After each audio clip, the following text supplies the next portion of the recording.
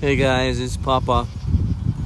All you van camper folks, um, Grammy and I are in the North Carolina mountains, hiking around at 5,000 to 6,000 feet elevation. It's fabulous up here.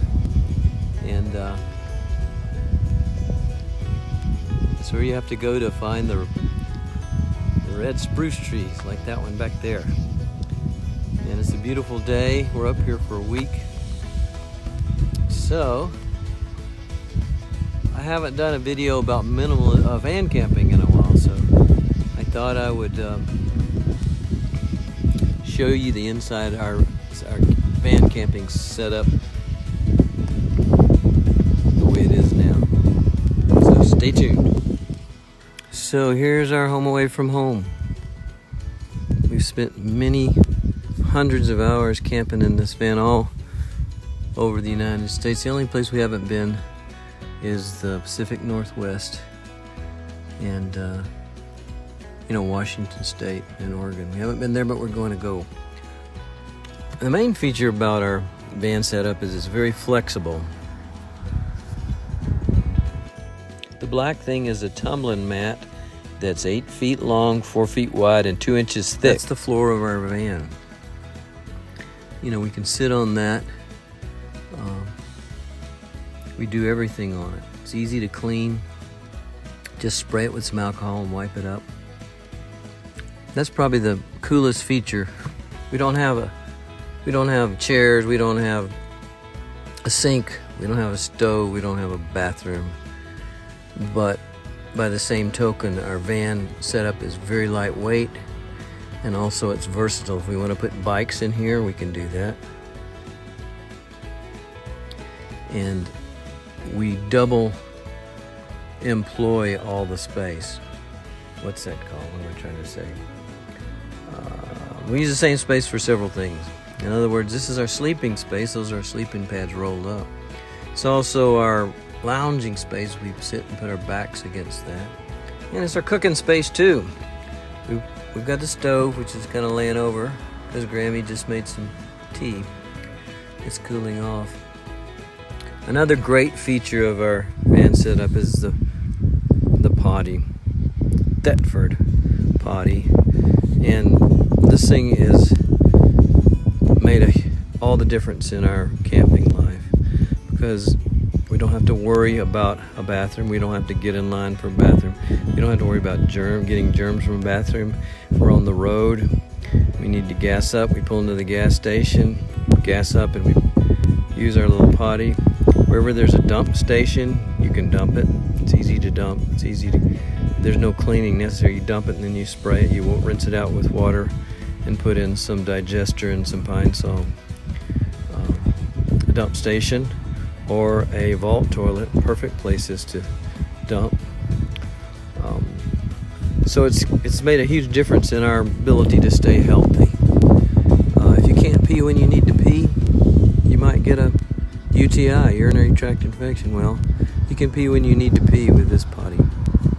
Here's the here's the pantry. There's Grammy's pantry. Here's my pantry. And all our food goes in our our pantries. We eat foods that, that don't spoil. We eat foods that don't require much cooking. And we eat foods that are healthy.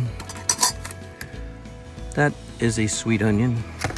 Good stuff. Tomatoes. Salsa. Nuts. No refrigeration required in all this.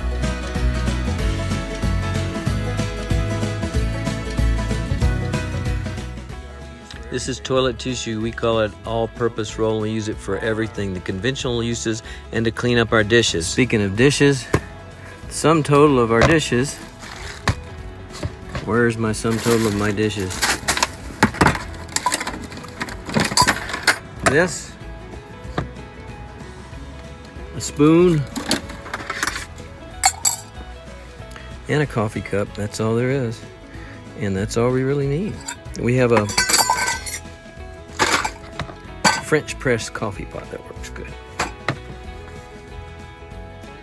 Here's our curtain set up to so that we can curtain off the front of the van for privacy.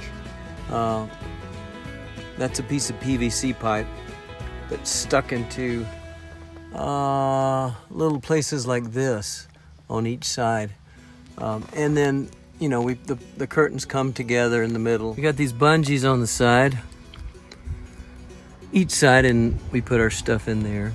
And we also took the um, the very back seats out so that we have a super huge storage space um, underneath the mat.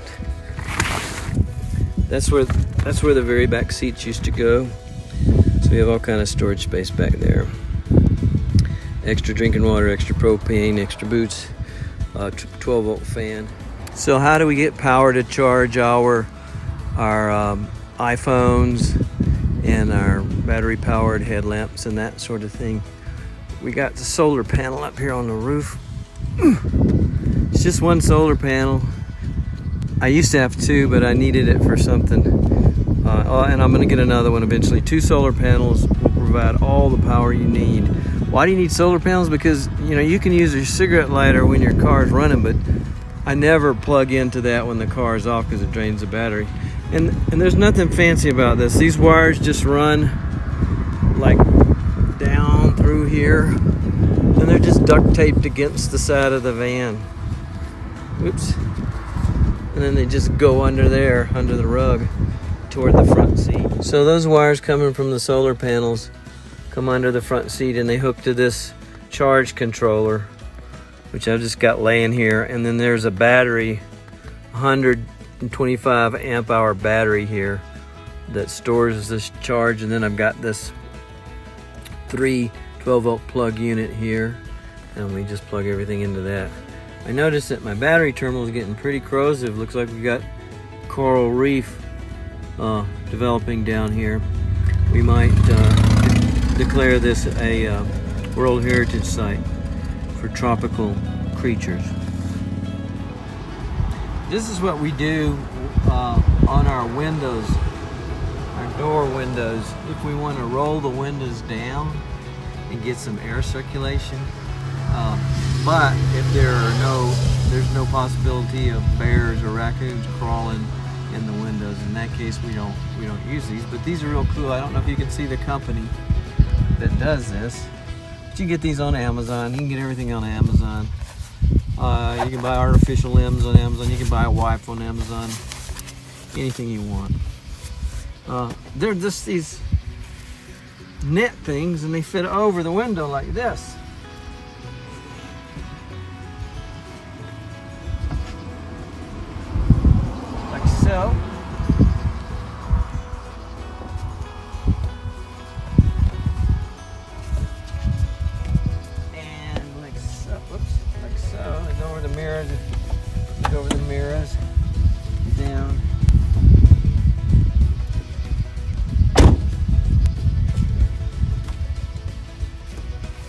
And that'll keep the bugs out and let the air come in.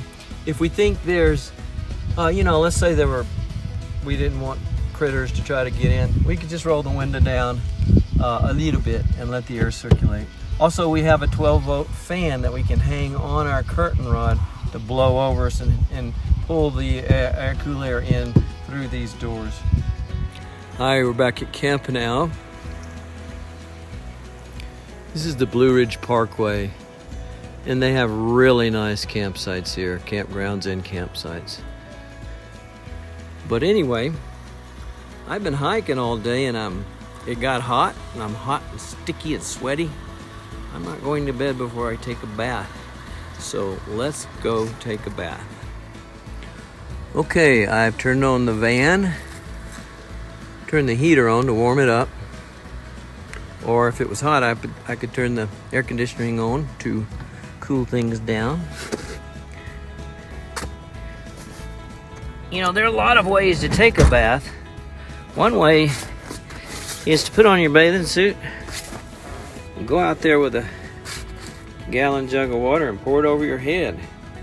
That works great, especially when it's really hot. but it's not really hot now. It's kind of chilly. So I'm going to take a sponge bath inside the van on the waterproof black tumbling mat. So here we go. Lighting the stove and pouring in some water. Doesn't take much. Yeah, it's about half full. Um, you don't have to heat up the water, but I've decided I wanted to heat the water up because it's chilly out there. Now, this pot that I'm using to heat the water up in and to take my sponge bath, that's a bandana in there, by the way, heating up also. This is the pot that we make coffee in. So don't get grossed out. If you take a bath in the coffee pot, you know it really makes the coffee taste so much better. Not really. You can easily sterilize this out after this pot after you're done by taking your handy dandy alcohol squirt bottle and squirting some alcohol in there and rubbing it around. As a matter of fact, when I take a bath, I usually do squirt some alcohol in there just to kill germs that cause body odor. Let's check the water. Got a long way to go. So we'll wait. Okay, the water's plenty hot now turn off the stove, and I just take my sponge bath right from the pot on the stove. Carefully squeeze out my bandana and just commence to take a sponge bath. Wipe it on me, cover myself with water, and then I take my hands and wipe my body with my hands just to loosen up the sweat, and then I go over it again with the bandana, hair as well. Um, and the cool thing about it is, yeah, it gets the mat a little messy. Water gets on the mat as you do this, but it's not a problem. The mat's waterproof. You just, when you're done, you dry it up. And if you want to do an alcohol squirt, you're fine too. Why is this nice? This is nice because it doesn't matter what the weather is out there. You can always warm your van up, warm your water up, and have a very comfortable sponge bath. It's going to make you feel so clean and happy. And by the way, I use these towels to dry off with their polyester towels. They don't dry anywhere near good as cotton towels. Uh, they don't dry your body anywhere near as good, but if you hang them on the line, they'll dry much, much, much faster than a cotton towel. Okay, now I usually, this is optional, I usually do my hair over again just to make sure it gets really clean because I don't use soap. Soap dries out your skin. And the more you use soap, the drier your skin gets, and the more you need soap too.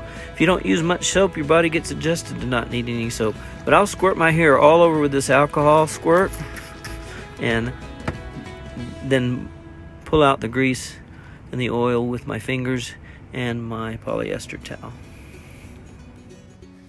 Okay, it's starting to get dark, cooling off.